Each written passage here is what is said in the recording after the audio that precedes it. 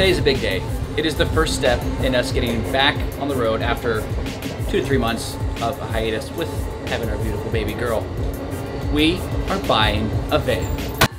After months of research, we found our new dream home on wheels just a few hours away. So I boarded the Amtrak train down to Baltimore to pick up our new family adventure van.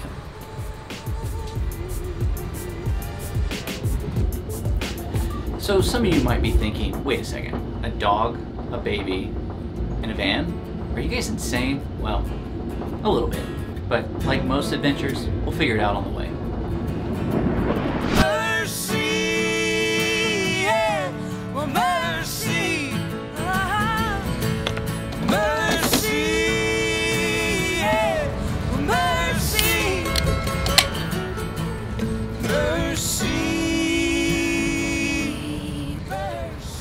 So one of our guiding principles has always been the stoplights in life are never all green. Obviously, it would be easy for us to keep the dog and the baby at home, but we don't want to make it easy. And before we go any farther, let's just take a few steps back. What is this face? What is this face? So during our time off with the baby, we started doing a little thinking. How can we optimize our time with our little girl and make the most memories during this precious time? And if we're gonna be sleep deprived, we might as well be sleep deprived with views like this. Feels like home. Feels like home. Feels like We loved our Airstream and we missed the simplicity of the great outdoors. There's nothing like having the comforts of home while being in some of the most beautiful locations in the world. One of the things we found useful while on the road was having a good waterproof phone case. We found so many water activities where having a waterproof phone case was critical hiking, paddleboarding, boating. Cali Case is perfect for all of these. It's a waterproof phone case that floats. Yes, the new phones are water resistant, but with the Cali Case, you can take your phone up to 100 feet deep. And again, it floats, so you don't have to worry about your phone falling out of your pocket when you're stand-up paddleboarding. The Cali Case is one of our must-have items on the road, especially with the new baby. Now we can focus on creating memories with our little girl, and we won't have to worry about losing our phones or those precious memories at the bottom of a lake somewhere. Use the code ROAMAROO20 at checkout to get 20% off your Cali Case purchase. All right, now when buying a van or an RV, the first thing you need to do is decide on the must-have items. Now for us, for our van, first up, three seats. There's three of us, so obviously we need to be safe. And now the problem with fans is most of them are designed for two people. So when you need three seats, you need a family in a van, that reduces the number of options you have to choose from. Number two, easy access bed. One of the things that we disliked most about our Airstream was the fact that Collette had to climb over me whenever she wanted to get in and out of the bed. So we wanted one where we didn't have to do that. Now, number three, we wanted an indoor bathroom and shower. Call us bougie, but that's just what we want. And now when you're looking at vans and you put a shower and a bathroom in there, that really reduces the size. But that was a trade-off we were willing to make. Number four, a freezer for our milk. We've got a little one, and so we need this extra space. We need to have that storage. So we need to have a nice refrigerator and freezer. And now with these four must-haves, it really limited our options. And it basically came down to one model that we were looking at. Unfortunately, with inventory being so low, there were no vans for us to go look at within a five to six hour radius. This is Luke speaking. May I help you? Hi, Luke. Uh, I'm calling to just confirm that you still have uh, a, a Class B RV in stock. I do not.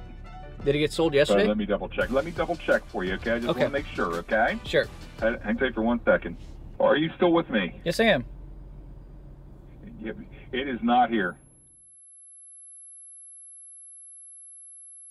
The next thing you need to consider when buying a van is depreciation. So we had figured out the model of van that we wanted. Now it's time to figure out how much to spend on it. Well, first thing I did, being the engineer that I am, I tried to get as much information data that I could together. And what I did was basically plotted it on a chart, simple like this, with the price of the vehicle and the year I also did the same thing with mileage. The thing is, both these charts, they look almost the same. Mileage, year, you can swap the two out, you're gonna get the same thing. And you're gonna try to look for some information about where it kind of levels out. And what you find is pretty much the first three years or 30 to 50,000 miles is when you lose most of the value.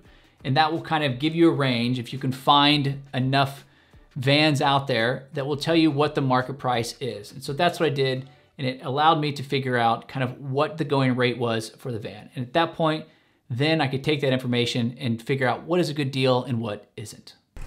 Ladies and gentlemen, ladies and gentlemen, last call, last call for Wilmington, Delaware. Okay. Last call for Wilmington, Delaware. Doors are open. All right, where should we start? Well, let's just since since we're looking this way, we'll Yep. just go here and, and go back.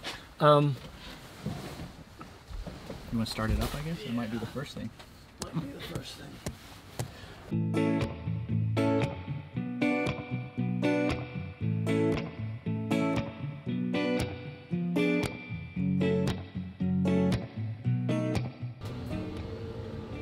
Well, this is our van. I came all the way down to Baltimore to pick up this beautiful beast, and it is awesome. Hello, Guess where I'm calling you from? the adventure van, The adventure van, the Stoller adventure van. That's right. Scotland's Great Adventure. Scotland's great adventure. There's only one problem.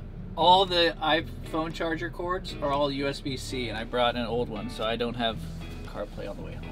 Do you have enough battery on your phone? Yeah. The, the You're van, not me. The van also has, well, actually it's a little bit lower than normal, but the van also has navigation. Oh, perfect. Okay. Does it have CarPlay? It does, yeah. I just You just didn't. Yeah. I don't have the right. You're my summer days, sweet like lemon.